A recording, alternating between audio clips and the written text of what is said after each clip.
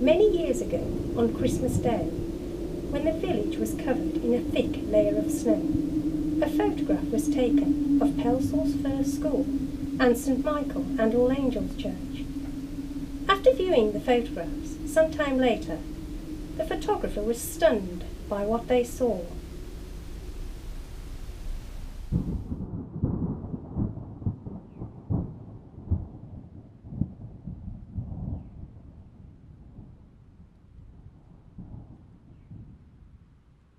The photograph in this article is probably the most talked about and closely examined ghostly photograph from any of my ghost books. The photograph appeared in Ghosts Around Pelsall back in 2010. The photograph, which was taken on Christmas Day, appears to show what is regarded as a ghostly Victorian teacher. It could be said that this is not so strange when you consider that this building was a school in the Victorian era. In 1845, an application was made by the church to the National Society for a grant towards building a school in Pelsall with an attached residence in which the master could live. The new school, which was to be situated next to St Michael and All Angels Church, was to accommodate 133 pupils and the common was to be its playground. This establishment was called Pelsall National School and was described as being small. It had narrow windows, was heated by open coal fires and was lit by oil lamps. According to records, there were 180 pupils in attendance at the school in 1865.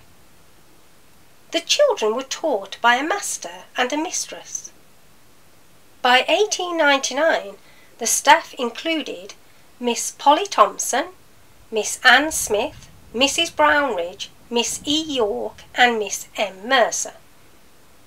Miss S. Wildig, Reverend W. M. Climson, Mr. W. H. Brownridge, and Miss A. Brownridge. Miss Bertha Garfield, Mr. Charles Hodson, and Miss Jenny Bill, who can be seen in the photograph. In 1895, these school children were dressed to perform a musical whist with living cards at Pelsall Hall, in order to help raise money for Sister Dora's Walsall Cottage Hospital. Despite the photograph appearing to show the ghostly image of a Victorian teacher, as far as I'm aware, no paranormal activity has ever been experienced in this building. However, I am aware that numerous people have managed to capture strange images in the windows of this building, some of which have been taken during my ghost walks. With curiosity getting the better of me, about five years ago I took some photographs myself, since so many people appear to have managed to capture something in the old school windows. I then went inside the building to find out what could have created the images people had captured, and found that the room was neatly organised with conference tables.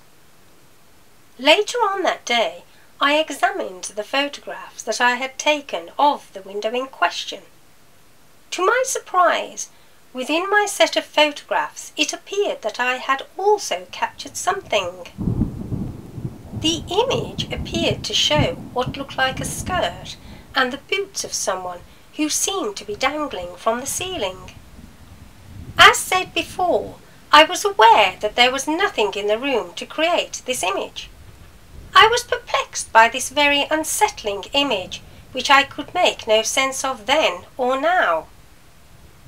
I have no idea what holds this spirit to this building or who she was, but I can't help thinking that some of these images are trying to tell her story. If you have ever experienced paranormal activity in this building, or know of something strange that once happened here, please let me know.